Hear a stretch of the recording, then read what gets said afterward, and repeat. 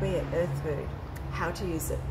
Grab the bottle, squeeze it, and it comes up to the top. You've got 10 mil measurement. Then you literally get your uh, spray bottle, tip what you've saved in your chamber into the bottle.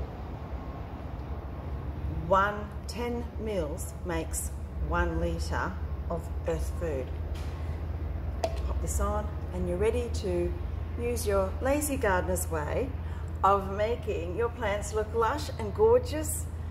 And not only that, just to let you know that third party tested means you have up to 40% more yield in your vegetables per square metre and 40% more protein per above ground green leaf.